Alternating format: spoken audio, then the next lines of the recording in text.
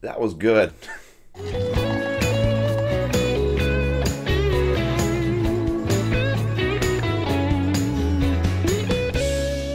Hey guys, Jeremy here. Sorry I've lost my voice. I've got a little bit of a cold, but I really, really want to talk about Split. Shyamalan, you did good. First off, I want to say this is my new cup. This is my new Iron Giant cup. I'll put a link in the description of where I found it. Split is probably one of Shyamalan's best films in like a decade. It's good. Ever since The Visit, I've been kind of giving Shyamalan a second chance because in The Visit, he acknowledged how much of a douche he was when he was at the peak of his career and the silliness of his movies and his own sort of attitude. And I think he had really had a rebirth. And so when Split was coming, even though it was in a January release, I was still on board, mainly because of James McAvoy. James McAvoy is a fantastic actor, and while the concept sounded absolutely absurd, I was still very interested in it. If anything, there's a movie that I compared it to. It was Identity. And Identity was kind of a silly but interesting sort of crime thriller film involving multiple personalities. And I like this one way more than that movie. The concept of this film is obviously that three girls are kidnapped by James McAvoy and they wake up in this underground cellar and then they start to realize that James McAvoy has different personalities. So he supposedly has 23 different personalities. And in between all the scenes of the girls trying to figure out how to escape and dealing with the different versions of McAvoy, we keep cutting back to his counselor.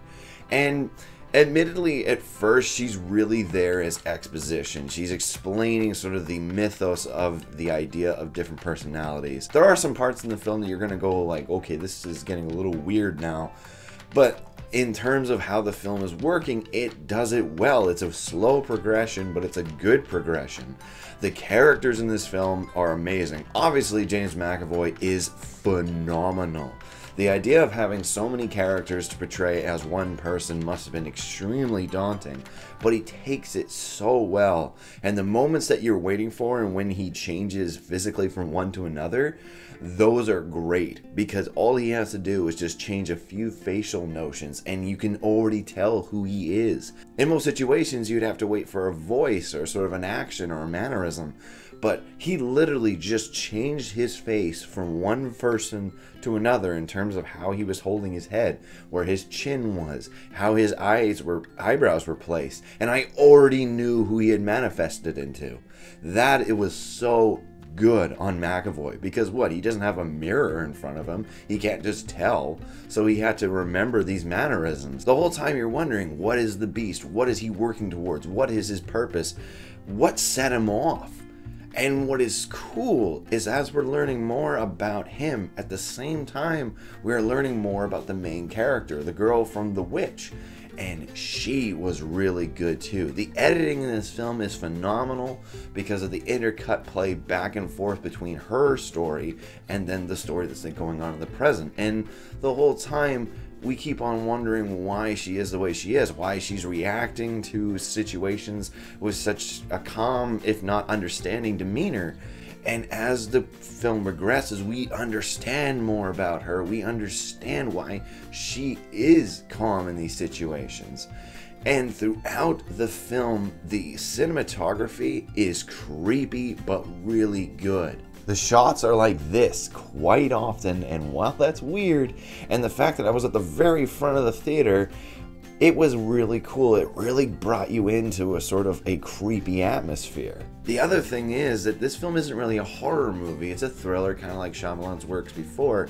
But there's not a lot of horror elements. There's not a lot of jump scares. If anything, The Visit was way scarier than this film, in my opinion. The atmosphere is scary, but there's no jump scares. There's just a really cool tension in the film. The one thing I will say though, if I do have a complaint about this film, is that it goes on a little bit too long. And near the climax, I was kind of going, all right, let's let's wrap this up, all right? And admittedly that is it. That is the only issue i have with this film because every element that you kind of wonder why don't they gang up on him? Why don't they you know why don't they do something against him? The film addresses that. It's a lot like 10 cloverfield lane. It's already addressing the questions that you have and it's doing it in a smart and intelligent way. And i'll admit this film's ending made my jaw drop. I couldn't believe it. I was, I actually said out loud, holy shit. I was amazed at how cool this movie was. I love the ending. I was the last ticket. I went there with my friends from work and I went up to buy a ticket and then they went up to buy a ticket and they were all gone. I literally had the last seat apparently. And that was crazy, but I've honestly because I was so close to the theater, I was at the very very front that made the film far more engaging for me. And honestly, I'm going to possibly watch horror movies closer up now for this reason. But in the end, I'm going to give Split a 6 out of 7. I think it was a phenomenal movie. I think that the ending had a really cool sort of not twist, but twist at the end. And honestly, I think Shyamalan, as long as he stays within this sort of realm, again, I think he's back. Is just as long as he doesn't get let the reviews and the hype and everything get to his head like he did last time. But I think he's learned his lesson. But either way, guys, that's all for me. I hope you enjoyed this review. I'll see you guys next time.